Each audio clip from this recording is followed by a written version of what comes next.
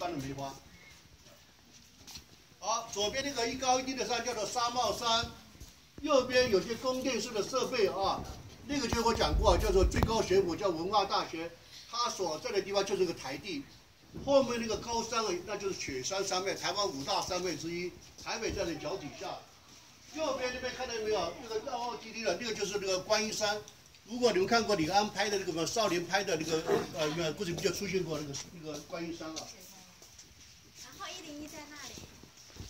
好，谁讲到一零一？你要不要跟我们解释一下什么叫一零一？一百零一层大楼。好，我今天给你，我等等一下讲，你你做导游工作吗？没有。啊，我告诉你这资讯，将来对你帮助很大。底下这个地方啊，就是阳明公园有个停车场。阳明公园属于台北市政府的，我们上面是国家公园。如果各位对历史有感觉的话，你要站到我这个位置来。为什么呢？阳明公园有个很重要的地方，就是草山行馆，就是停车的旁边，那个公路旁边。草山巡馆是民国三十八年国民政府来台湾，蒋介石先到高雄，然后到台北。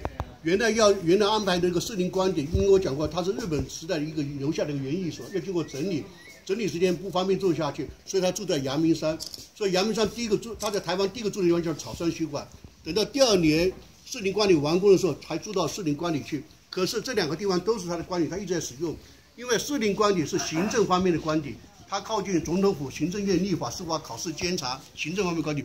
那阳明山这个草山行馆是党务工作的一个官邸，因为他把这边原来叫草山改名叫做阳明山，他是要他的革命同志，他同志，我们大家都已经丢掉了，你必须叫做而行啊，不如呃做而言不如起而行，所以他推崇王阳明的学说，叫做知行合一。啊，知行合一就鼓励毛泽东也讲过这句话，就说我们的理论要经过验证之后才能兑现，对不对？有这么一个意思啊。那个好像那个那个那个谁啊，那个四川那个你们最最伟大的改革开放叫什么？改哎，但邓小平也讲过这句话啊，就是要对去做，不能只讲理论。何况现在科学进步了，所以把这个草山取名叫做阳明山，那个叫做草山行馆。我们现在在的地方是他最后住的地方，那个地方是他最早住的地方，刚好在历史的交汇的地方啊。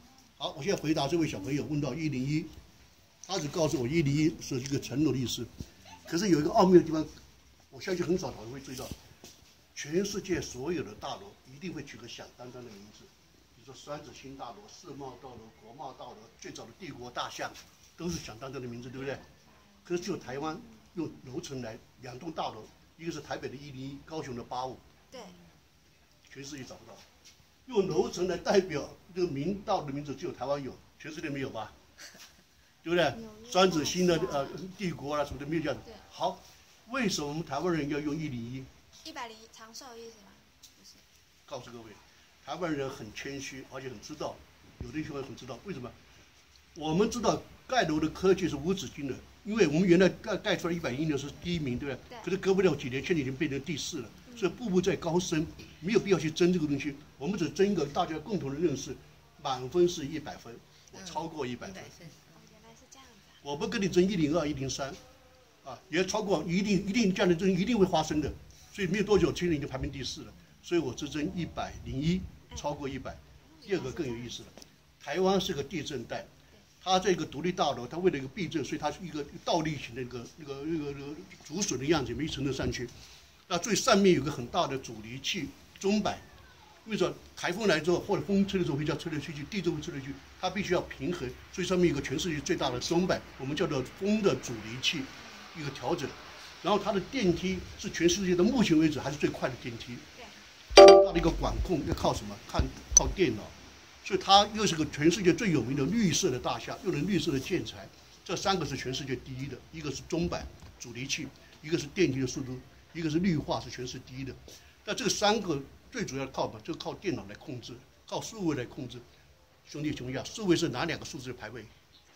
零跟一。零跟一，跟零是没有啊，就把一摆在前面，一零一，一零一，一零一，就代表就是说一零一是数位化最高的大楼。啊，了解了。那你搞这么多年，不晓得台湾是全世界唯一行动电源的，我没有电了。我没没在这。糟糕了，糟糕了。我我我车上可以可以充电。好，我想两岸人请问有谁有那个行动电源可以借我一下？为什么呢？没有借。因为一样。因为这非常珍贵，有没有人有行动电源？简直是不得了，好像装了机器一样。因为他的穿着比较多，所以对比对你的视力的效果比较大，比那个蒋先生的更透彻。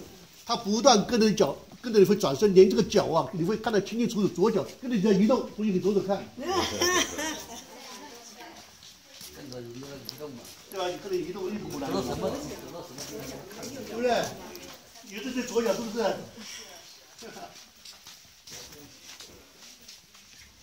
快结束吧。那这个环节我看就不看了，这是一个原来是给那个宋霭龄啊，她大姐安排的。那后来过都过世之后，就被这个展示了，被这个图片展示了。比较特殊是这张啊，各位请看，这边有三号人物啊，这是蒋介石、蒋经国，这是蒋经国最小的儿子蒋孝勇，这个就是蒋孝山的女婿，这就是蒋孝山的余余杨和啊，这个哎于洋和就这个，就是蒋孝庄、蒋孝蒋孝庄啊，他的他的夫婿啊。好，这边一张图片，小姐你自己看到没有？这就证明在二次世界大战之后，蒋介石、蒋委员长被认为中国战区的最高统帅，对不对？所以这不是骗人的，中国战区的最高统帅这张照片啊。好，我们时间关系，我带各位去看风景啊，请跟我来。啊。因为这个图片讲一张又不过瘾，讲多的话有点很耗时间啊。那这个我还跟各位讲一下啊，请到这边来。宋美龄啊。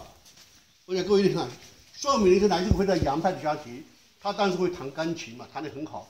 可是后来嫁给蒋委员长之后，有人就说啊，你不能说对着我们中国人弹钢琴嘛，中国的农民乡下人弹不可能。所以那时候开始，他就开始国学，然后开始学国画，然后以他的社会地位，在于很多名师教他嘛，画的也很好。可是他从来不对外发售，为什么？他是第一夫人嘛。那这个画像的话，就就是四面四面有画竹子啊。用那个叶子的方向来证明春夏秋冬不着文字，但是你看就这是春夏秋冬，然后把它拓板在那个一个那个一个一个一个一个玻璃板上面，非常漂亮的东西啊。好，你看这个有风吹。那个一看就知道是秋天，一个月亮，看到没有？哎哎。好，来，我带各位看最漂亮的地方，请跟我来。啊，对不起，我们电的时候跟你借手机录一下，好不好？哦哦，好好。因为快快没电了，剩下三三二 percent。刚刚有人问到说草山变成阳明山，这边看出来没有？知难行易。咱们中国的科技跟思想互动啊，分了三个阶段。五千年文化里面大概有四千多万多多年啊，都叫做知易行难，因为那是个儒家思想，一个忠君要要为国要孝一个一个要孝敬父母。因此，用科举八卦的方式来控制他们，就是说，你只要好好读书，你将来会有成就。要读书不是很辛苦的，你不读书的话，将来做工人就很苦。所以，四千多年文化，因为儒家思想影响，我们这叫做知易行难。到了后来那个工业革命之后，呃，孙中山这些革命志士要推翻了满清，都是很有学问的。黄花岗七十二烈士都不是泛泛之辈哦，都是很有学问，都是留学生。可是秀才作乱三年不成。他等到一个某个阶段要开始行动的时候，发现这些秀才行动力不够，所以就把这个原来知易行难改过来，变成叫知难行易。就是我们对国家的发展、对世界局势、对政府的改造都已经很清楚了，这难的东西都很清楚了。现在行易的革命是很容易的，古代古代都是倒过来，是叫做知难行易。可到后来，国共内战之后啊，国共内战之后啊，中国大陆跟台湾混得同个状况，世界在进步，科技在发达。但是呢，我们中国人还有很多旧习惯留下来，就是只这边谈、轻谈而不去行动。所以大陆那边讲的叫什么？要那个理论要要结合实实实践啊，才有效果。那蒋介石先生在台湾，他就检讨了，说第一个在阳明山成立一个革命实践研究院，把草山改名叫做阳明山，要推崇王阳明的知行合一。知行合一就是理论跟实践要合在一起，所以两个是一样的。所以我跟各位报告，咱们中国五千年文化三个阶段。